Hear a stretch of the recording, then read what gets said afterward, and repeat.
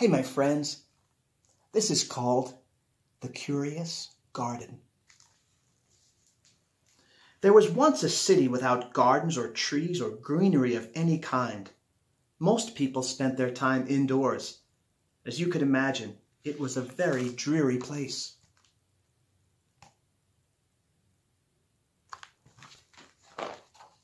However, there was one boy who loved being outside, even on drizzly days, while everyone else stayed inside.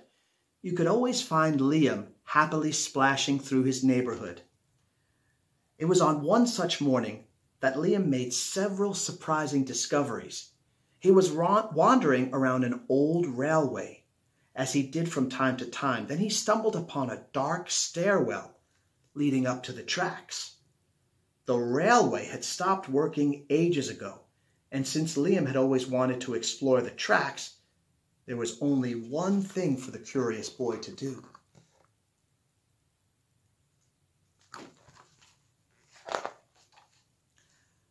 Liam ran up the stairs, pushed the door open, and stepped out onto the railway. The first thing he saw was a lonely patch of color Wild flowers and plants were the last thing he had expected to find up there. But when he took a closer look, it became clear that the plants were dying. They needed a gardener.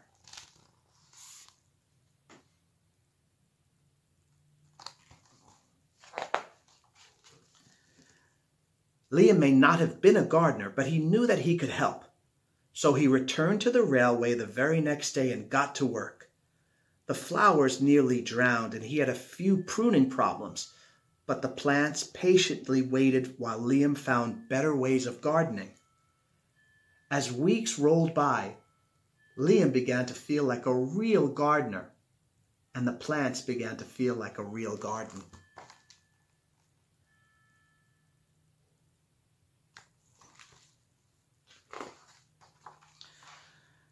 Most gardens stay in one place, but this was no ordinary garden. With miles and miles of open railway ahead of it, the garden was growing restless. It wanted to explore. The tough little weeds and mosses were the first to move. They popped up farther and farther down the tracks, and they were closely followed by more delicate plants.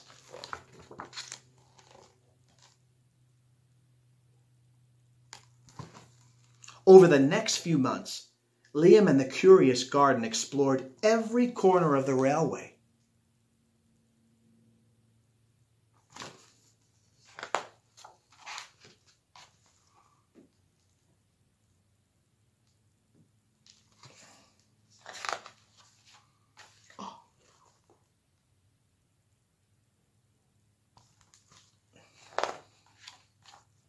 After spending his spring and summer and autumn with the garden, Liam's time on the railway was finally interrupted by winter.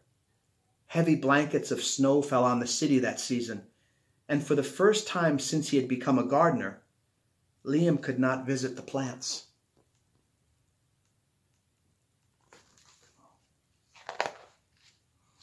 Rather than waste his winter worrying about the garden, Liam spent it preparing for spring. After three cold months, the snow finally began to melt, and Liam rolled his new gardening gear over to the railway.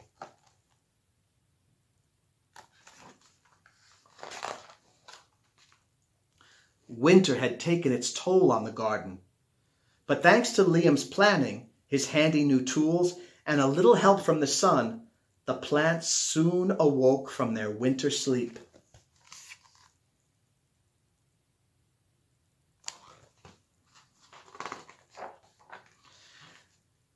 The garden had always wanted to explore the rest of the city. And that spring it was finally ready to make its move. Once again, the tough little weeds and the moss set out first. They popped up farther and farther away from the railway and were closely followed by more delicate plants.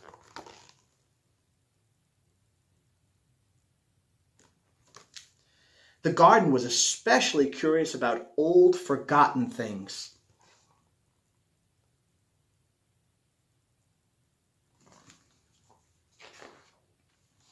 A few plants popped up where they didn't belong.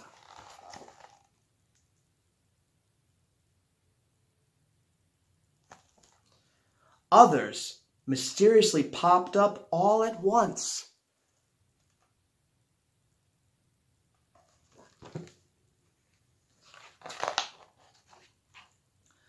But most surprising things that popped up were the new gardeners.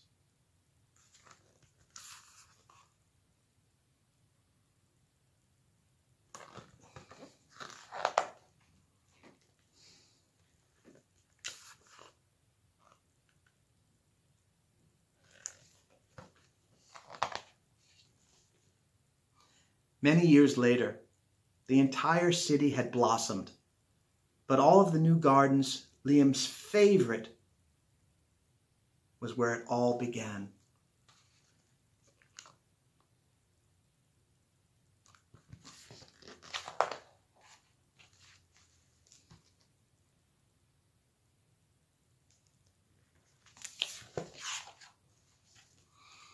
And that, my friends, is the curious garden.